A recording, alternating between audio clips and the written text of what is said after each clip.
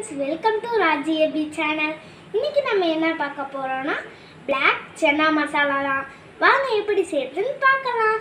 அதுக்கு முன்னாடி நம்ம சேனல் புதுசாக பார்க்குறீங்களா இப்போ மறக்காமல் சப்ஸ்கிரைப் பண்ணுங்க. கூடவே பக்கத்தில் இருக்க பில்லை கணக்கு கிளிக் பண்ணுங்கள் வாங்க வீடியோக்குள்ளே போகலாம் இப்போ நம்ம பண்ண போகிற ரெசிபிக்கு தேவையான பொருள் பார்க்கலாம்.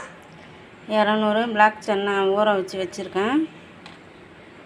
ரெண்டு பட்டை ரெண்டு கிராம்பு ரெண்டு ஏலக்காய் ஒரு அன்னாசி பூ ரெண்டு பிரிஞ்சி இலை நாலு காஞ்ச மிளகா ஒரு ஸ்பூன் மிளகு அரை ஸ்பூன் ஜீரகம் அரை ஸ்பூன் பெருஞ்சீரகம் ஒரு ஸ்பூன் மஞ்சத்தூள் அரை ஸ்பூனு ஆம்ச்சூர் பவுடர் ரெண்டு பிஞ்சு பெருங்காயத்தூள் ஒரு ஸ்பூனு கொத்தமல்லி தூள் ஒரு ஸ்பூன் டீ பவுடர் ஒன்றரை ஸ்பூனு மிளகாய்த்தூள் ரெண்டு பெரிய வெங்காயம் கட் பண்ணி வச்சுருக்கேன். டீ தூளை கொதிக்க வைக்க தேவையான தண்ணி தேவையான அளவுக்கு உப்பு ஒரு சின்ன சைஸ் தக்காளி கட் பண்ணி வச்சுருக்கேன். ரெண்டு பச்சை மிளகாய் கட் பண்ணி வச்சுருக்கேன். இந்த தாளிக்கு தேவையான இஞ்சி நீல வாக்கில் கட் பண்ணி வச்சுருக்கேன். இது வந்து சென்னால் கலக்கிறது. இஞ்சி பொடிசாக கட் பண்ணி வச்சுருக்கேன். இப்போ வாங்க எப்படி செய்யறதுன்னு பார்க்கலாம். பற்ற வச்சு ஒரு பாத்திரத்தில் நம்ம எடுத்து வச்சுருக்க தண்ணி ஊற்றிடலாம்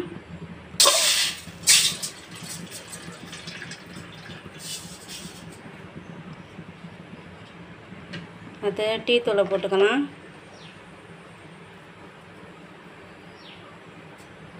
நல்லா கொதிக்கட்டும். டீத்தூள் தண்ணி நல்லா கொதிச்சிட்ருக்கு. இப்போ ஸ்டவ் ஆஃப் பண்ணிவிட்டு இதை தனியாக எடுத்து வச்சிடலாம். ஒரு குக்கரில் நம்ம கொதிக்க வச்சு வச்சுருக்கிற டீ தண்ணியை வடிகட்டி ஊற்றிக்கலாம்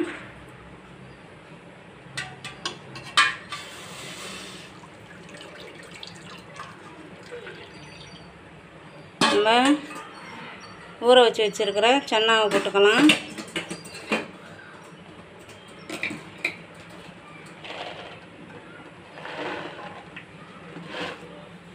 அடுத்தது நம்ம எடுத்து வச்சுருக்கிற கிராம்பு ஏலக்காய்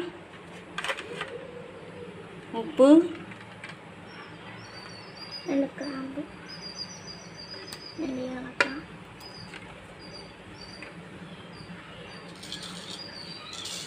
பட்டை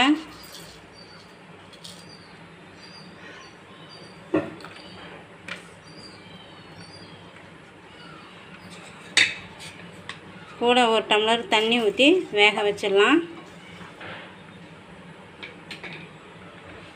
இப்போ குக்கரை மூடி ஒரு மூணு விசில் வச்சுக்கலாம்.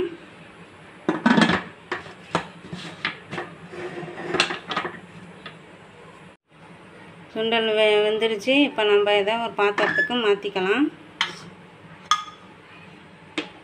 ஒரு கடாயில் ஒரு ஸ்பூனு ஆயில் விட்டுக்கலாம். நம்ம எடுத்து வச்சுருக்கிற மிளகு ஜீரகம் பெருஞ்சீரகம் காஞ்ச மிளகாய் அதெல்லாம் வறுத்துக்கலாம். இந்த சென்னா மசாலா ரெடி பண்ணுறோம்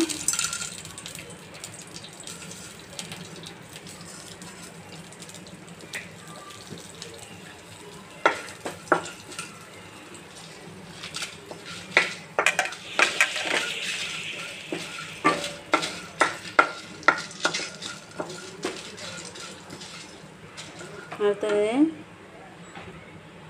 நம்ம எடுத்து வச்சுருக்கிற மஞ்சத்தூள் ஆம்ச்சூர் பவுடரு பெருங்காயத்தூளையும் இதில் சேர்த்துக்கலாம்.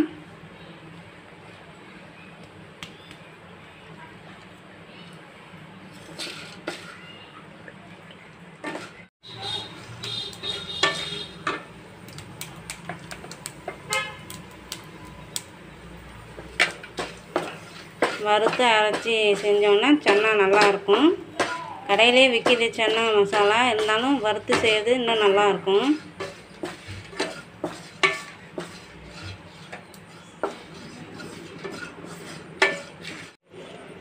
வறுத்த மசாலா அரைச்சாச்சு. இது தனியாக ஒரு பாத்திரத்துக்கு மாற்றிக்கலாம் சென்னா பவுடரை ஒரு பாத்திரத்துக்கு மாற்றியாச்சு இது ஒரு ரெண்டு ஸ்பூன் இருக்கும்.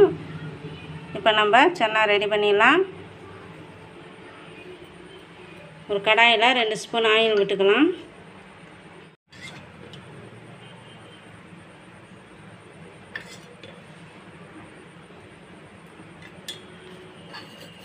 எண்ணெய் ஊற்றியாச்சு இப்போ நம்ம எடுத்து வச்சுருக்கிற பிரிஞ்சி இலை போட்டுக்கலாம்.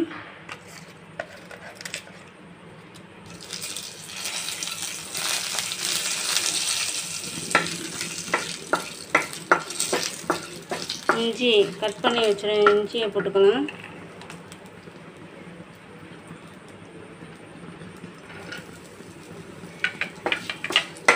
நல்லா வதக்கி விட்டுக்கலாம். அடுத்தது வெங்காயம் சேர்த்துக்கலாம். நல்லா வதக்கி விட்டுக்கலாம். நல்லா வதங்கிடுச்சு இப்போ நம்ம பச்சை மிளகாவை போட்டுக்கலாம்.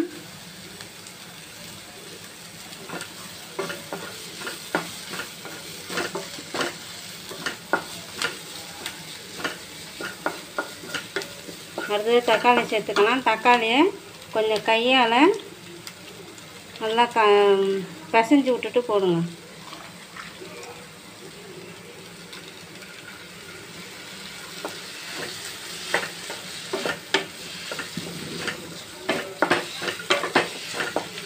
மூடி வச்சிடலாம்.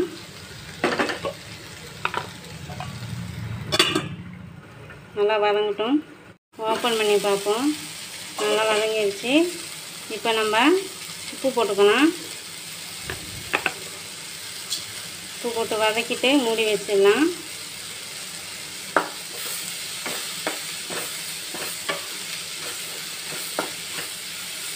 மூடி வச்சிடலாம். நல்லா வதங்கிடுச்சு இப்போ நம்ம மிளகாத்தூள் போட்டுக்கலாம்.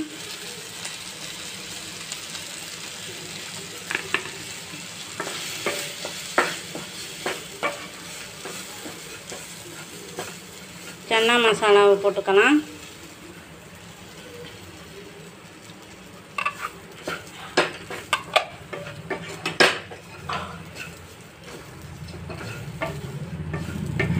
வேக வச்சு வச்சுருக்கிற சன்னாவை போட்டுக்கலாம். இந்த தண்ணியோடையே கொட்டிக்கலாம்.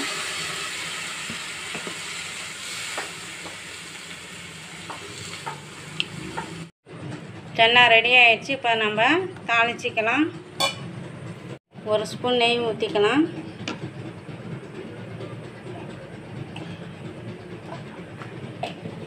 நம்ம நீல வாக்கில் கட் பண்ணி வச்சுருக்கிறேன் இஞ்சியை போட்டுக்கலாம்.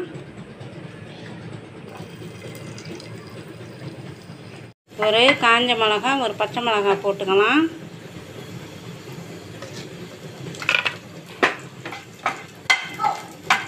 இப்போ தாளித்ததை நம்ம இப்போ சென்னாவில் கொட்டிக்கலாம்.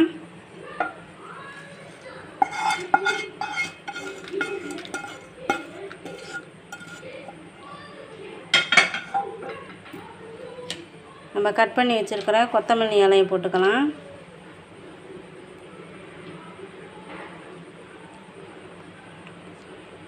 அவ்வளோதான் நம்மளோட பிளாக் சன்னா மசாலா ரெடி நீங்களும் இதை வீட்டில் ட்ரை பண்ணி பார்த்துட்டு எப்படி இருக்குன்னு எங்களுக்கு கமெண்ட் பண்ணுங்கள் சப்ஸ்கிரைப் பண்ணுங்கள் ஷேர் பண்ணுங்கள் தேங்க்யூ ஃபார் வாட்சிங் பாய்